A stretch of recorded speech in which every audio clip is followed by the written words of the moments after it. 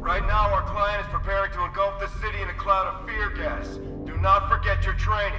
Gas masks, useless. Respirators, useless.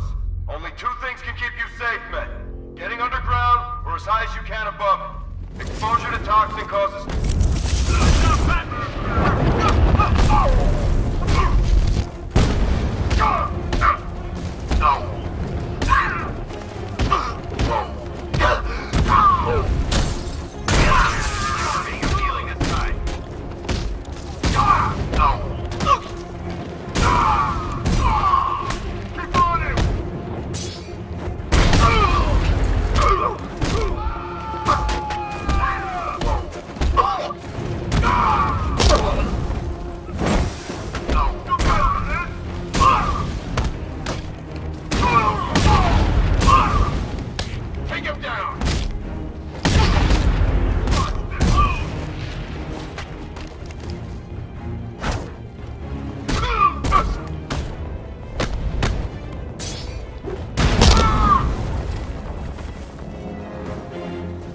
I've just run a simulation based on the mixing chamber capacity.